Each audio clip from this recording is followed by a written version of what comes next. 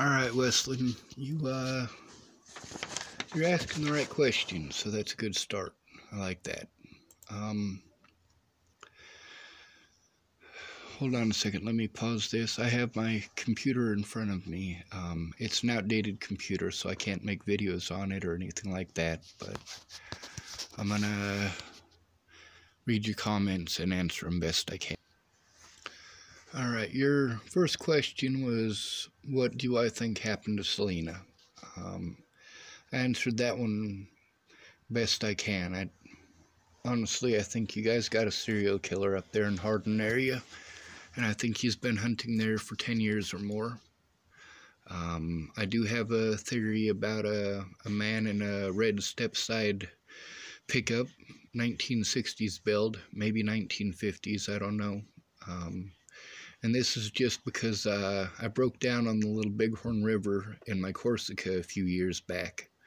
And this man gave me a ride back to Hardin, and he wanted me to perform sexual favors. He was trying to hand me some dirty magazines and have me touch myself for his own entertainment. Um, it was broad daylight, and I didn't end up doing it, and he was pretty pissed off when he dropped me off, but nothing happened to me. I'm pretty sure at his age he was probably scared to mess with somebody like me. Um, but I'm going to get to your other questions here. It says you were arrested and you have been seen as a suspect. Um, you're referring to Natalie Bollinger's case, obviously. Um, I wasn't arrested in the Natalie case. I was really arrested um, later on. What happened in Natalie's case is that she was suicidal and insisted I go to Virginia or she was going to kill herself, and then she ran her car into a tree. So I made sure that I went to Virginia.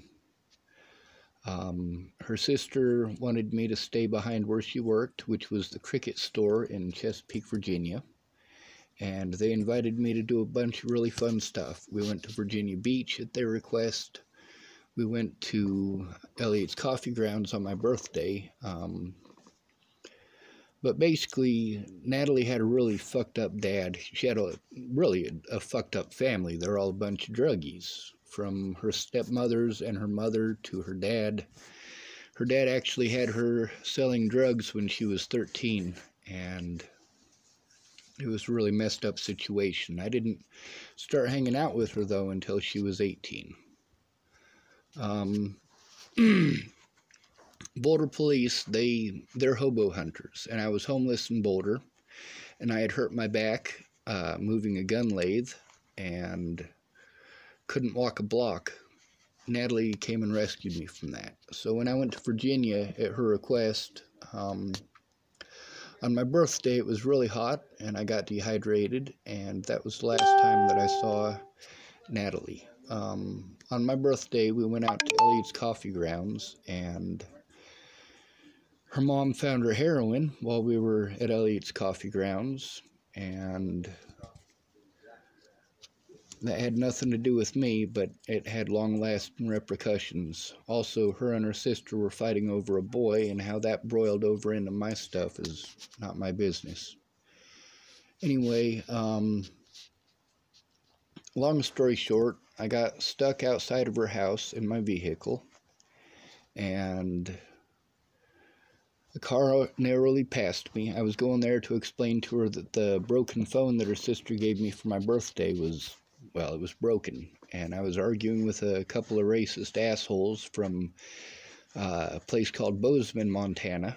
Um, one of them was a guy named Tyler Frericks, and another one was a friend of his and his friend Tyler gave this friend my phone number, and me and him had been arguing on my new phone. Um, and this guy was typing a bunch of stuff, so I was typing it back.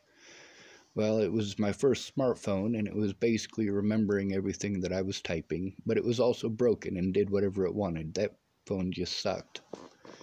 So when I went to explain to Natalie what was going on, um, my car got stuck in the road, and I honked my horn, and that way nobody would run into me. And anyway, ultimately, I ended up leaving there. Well, she had claimed that I stalked her, and then they claimed that I had threatened their family, and then that rumor got out of hand. They didn't say anything more than that. They didn't have to. Um, if you go back to the very beginning of Natalie's post, you'll see the exact same mentality start up. I didn't stalk her, and I needed her to let those people know. Just tell the truth. But the thing is, those rumors warped into something that they weren't, and I was ending up getting treated like I was a child molester or a rapist or something like that. I'm like, no, not even close. So, uh, at first, I tried to get a hold of Natalie and Alicia and her sister to get them to put a stop to it, and they wouldn't. So I went to the police, who didn't care. So I went to my friends for help, and they just kept on blowing me off. Well, I couldn't see my loved ones in Boulder because I was being threatened, harassed, and assaulted every time that I went there. And see, that's where I knew Natalie from, is from Boulder. Um, so, in December of 2017, this is after a year of this bullshit, um, my roommates had stolen all of my money because I'm disabled. Um, they stole all of my disability money and um, I was tired of not being able to see my loved ones, tired of having to live with people who were abusing the shit out of me. They weren't physically abusive until the day that I left, though. Um, but I exposed Natalie's dad as with an email that she had sent me in 2016. I'm like, if I'm going to be treated like this, I'm going to expose the people who actually do this shit. And I exposed him and I had been trying to get a lawyer for a while by that point, but it wasn't working out. And a guy named Jeff Ritter, who is my therapist, and a lady named Kara Heller, who is my case manager, they were supposed to be helping me get a lawyer so that I could take Natalie to court. Well, I they were very slow about it, and I was tired of being abused, and Christmas was coming up, and I just wanted to go to Boulder and see all my loved ones. So uh, when I exposed her dad, at first I, I got a hold of her mom to let her mom know what was going on and how I was being treated, and her mom didn't care. So I exposed Ted um, with Natalie's email, and then she uh, offered to meet me to put a stop to it. Well, instead of meeting me, it was a protection order, and for probably the 20th time, maybe not 20 times, but quite a lot, I had tried to tell the police what was going on, but the police officer who showed up, his name was Officer Michael West, he didn't care. And anyway, two weeks later, Natalie got shot in the head. Um, I thought it was her dad or Tim Beeson, her ex boyfriend. Um, and that's why I was a suspect. As far as being obsessed with Natalie, it's not obsessed with Natalie, it's obsessed with having my life back. See, rumors like that destroy a man's life. People harm a man for doing things like those. And I didn't do those things, so I don't deserve that kind of treatment. Her sister knows I'm telling the truth, but the police did everything in their power to cover up their own wrongdoing, which allowed the Bollingers to get away with whatever they wanted. Their friends and family threatened and harassed me and threatened to kill my friends and family and all sorts of fucked up shit. So, uh, by the beginning of January, um, this is only a week or so after her death. Um, the police weren't listening to me. I had been made homeless because Natalie died. My the people I was staying with didn't ever pay me my money back and they kicked me out and they kept all my stuff and it was pretty messed up. Sorry, that phone number is somebody who's been harassing me all day. I I get a lot of those. Anyway, so um I grew up in the system and then I was homeless, so I know quite a bit about who's easiest to victimize because I'm easy to victimize. Um, I was arrested because uh, I was trying to find Natalie's killer. And I was in contact with one of her stepmoms, and I went to St. John's. And somebody had a police officer call me from Broomfield, and I spoke with him, and he offered to meet me. And this is after I'd been harassed by the Boulder police for five days straight. They kept on separating me from everybody who was willing to help me, but refused to take a report about any of the people who were assaulting me or threatening me. So when this officer from Broomfield didn't show up, he sent the Boulder Police Department instead, and an officer named Waylon Lolotai, W A Y L O N L O L O T A I, was one of those officers. I was trying to do what the Broomfield officers had asked. They wanted some information, and I had been prevented from getting that information to them. Um, the Boulder Police obstructed justice. They also assaulted me for being suicidal is their excuse. But the thing is i was trying to get information for the broomfield police and the Boulder police. They they don't give a fuck. All these people had seen on the news all of this stuff about how terrible a person i am. So everybody wanted to be the one to catch the terrible sean schwartz who killed natalie bollinger. But the fact is she was killed by joseph michael lopez. He shot her in the head. Um, let's see. Why? So that covers why I was arrested and why I was seen as a suspect. Um, do you think it's because you post so many videos and seem to know more info than a lot? Well, I know a lot of info because I keep track of it. Natalie was a friend of mine. As soon as she disappeared, I posted a missing persons video. I offered her all the money that I had to try to get her somewhere safe. She's not the only person I've done this for. I've spent most of my life helping out single mothers, and it's not easy. Um, let's see. Also, why were you obsessed with Natalie? I wasn't obsessed with Natalie. I was obsessed with being able to see my loved ones without being threatened or assaulted.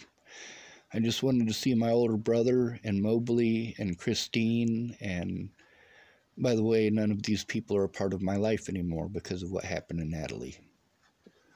Um, what I was obsessed with is getting people like Tim Beeson to leave me the fuck alone. To get Maddie Boa's meth buddies, because, I mean, there's meth everywhere in the United States now. I was trying to get her meth buddies to leave me alone. Sorry, my battery's running low. Um, and still to comment on her page when she clearly did not want anything to do with you. Well, that's the thing. I didn't want anything to do with them when I left Virginia. I just wanted to leave it behind me and go on with my life. But the fact is that I wasn't allowed to walk away. When I went back to Boulder, people wouldn't leave me the fuck alone. When I went back to Chappell, Nebraska, I had people harassing me on the internet over it. I'm like, hey, Natalie, put a stop to this. Call off the dogs. Now, this is stuff that I've been showing the evidence of this for over two years now, but the problem is I can't get the police to take a look at it. And then there's these Natalie Bollinger groups that are actually Sean Schwartz hate groups. They don't care about the truth. They just want somebody to blame. They want somebody to hate. That's what hateful people do. And I hate being treated like that. I hate being separated from my loved ones. I hate my life. But that's not going to stop me from bringing awareness to all these missing people, especially after going up to Hardin, Montana, and finding out from John Nomi and Mary Lyon shows and Lila Mountain Sheep. I mean, it's it's a fucked up situation y'all got going on up there. Um, I continue to comment on her video to this day because that whole, or on her last post to this day because it, the whole thing is slander.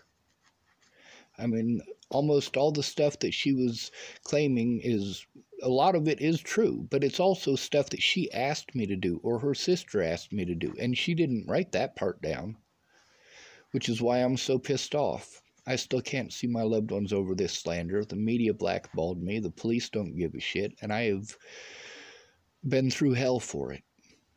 Um, says I'm not targeting targeting you, but everyone is a suspect. Can't let nobody slide. I agree with you. Now, as far as Natalie's case goes, the guy who killed her got busted. He's in prison for 48 years. Um, her sister has actually disappeared twice since Natalie died, and both times I posted a video about her disappearing. There's a, a lot of laws that I broke, and I'm proud of those laws because they save lives. Um, as far as the suspect goes, I'm in Chappell, Nebraska. I don't have a vehicle. I have no way to get to Hardin, Montana. But I understand why. And that's the thing, too, is that the Missing Women of Hardin, Montana video that I made, that was last March, I believe. I mean, it, it was almost a year ago. And only about 30 people had seen that video. When Selena disappeared, I knew that uh, I could use all of the hatred towards me to try to bring light to the situation and get people actually looking.